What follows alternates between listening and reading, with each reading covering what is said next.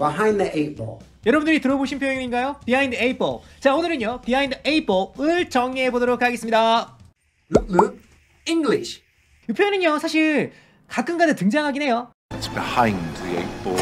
Oh, I'm really behind the eight ball. We're a little behind the eight ball going in. 어, 여러분들이 뭐 behind eight ball을 실제 대화할 때 사용할 필요는 없습니다. 하지만 원어민들이 말을 했을 때 알아듣긴 해야 됩니다. behind eight ball.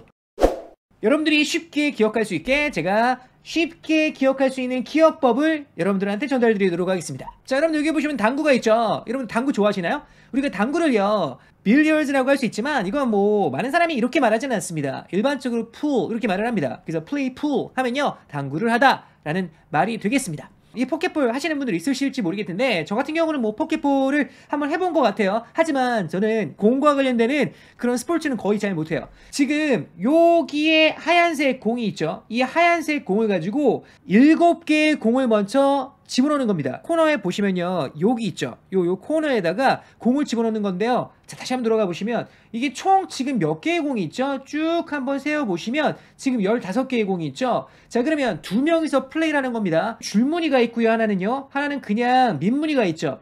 자, 그러면 나는요. 8번 공을 빼고 1번서부터 7번까지 집어넣거나 상대방은 9번서부터 15번까지 공을 집어넣는 겁니다.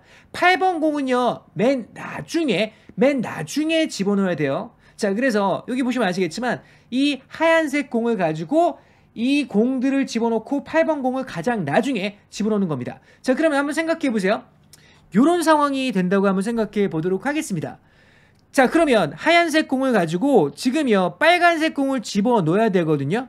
요 구멍에다 집어 넣어야 될 거 아니에요? 그런데 이 8번 공이 바로 앞에 있습니다. 그러면 어때요? 무지하게 힘든 상황이죠. 이거 집어넣는 게 무지하게 힘들 겁니다. 자, 그래서 내가 지금 어때요? 하얀 공이 eight ball, 8번 공 뒤에 있죠. 이런 상황은 무지하게 힘든 상황이라는 거예요. 그래서 eight ball.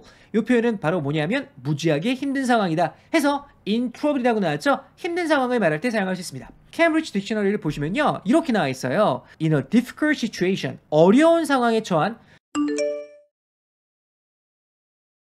behind the eight ball. It's just a saying that we take from pool, right? Uh, because you're not supposed to hit the eight ball before you hit other balls. So if you're behind the eight ball, you're in a tough situation, a difficult position. So uh, your boss put you in a difficult position when he changed the deadline. You're behind the eight ball because he changed the deadline. I put my wife behind the eight ball when she said yes to marriage. I put her in a difficult situation. I often do it to myself. I make my own problems. I put myself behind the eight ball with bad decisions. How about you? Are you ever behind the eight ball?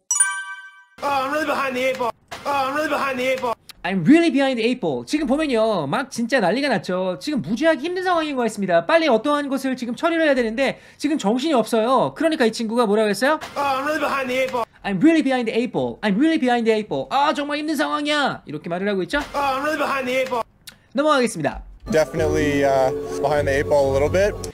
제가 전체 문장이 아니라 부분만 가져와 봤습니다. Definitely behind a eight ball a little bit 이렇게 나왔죠. Definitely behind the eight ball.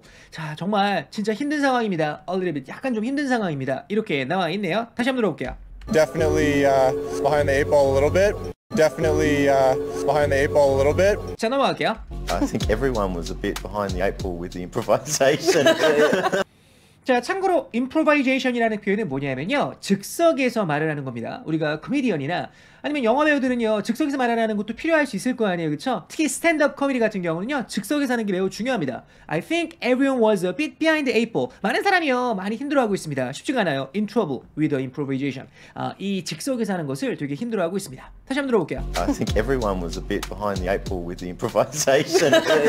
I think everyone was a bit behind the eight ball with the improvisation. 자, 그러면요. 이 표현하고 비슷한 표현들을 우리가 한번 정의를 좀 해보도록 하겠습니다. 아, 여기에 나온 표현은 아주 간단한 표현입니다. 여러분들이 이미 알고 있는 표현일 거예요. 한번 저하고 같이 한번 따라해볼까요? I'm having a hard time. 다시 한번요. I'm having a hard time. 자, 그 다음에 I'm having a trouble.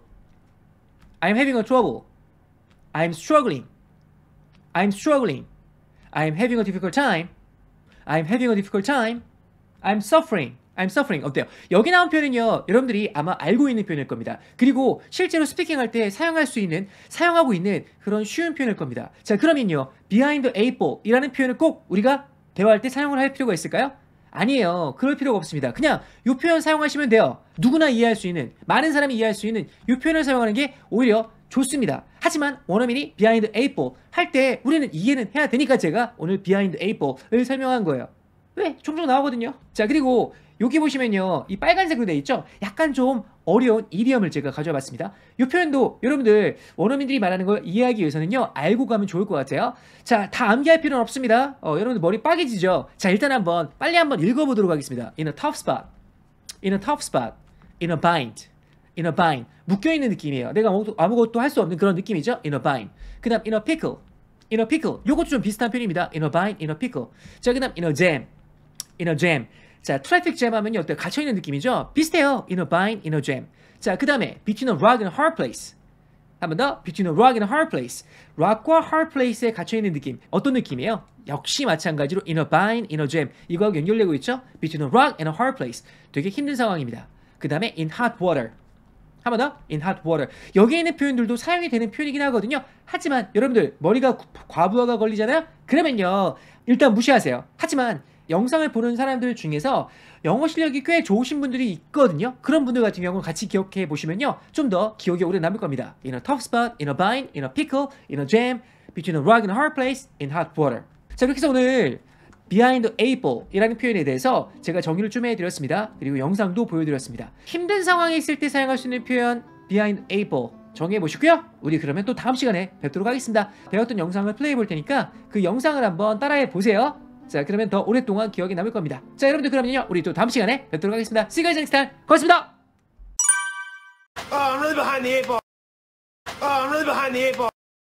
Oh, I'm really behind the eight ball. Oh, I'm really behind the eight ball. Definitely uh, behind the eight ball a little bit. Definitely uh, behind the eight ball a little bit. Definitely uh, behind the eight ball a little bit. Definitely uh, behind the eight ball a little bit. I think everyone was a bit behind the eight ball with the improvisation. I think everyone was a bit behind the eight ball with the improvisation.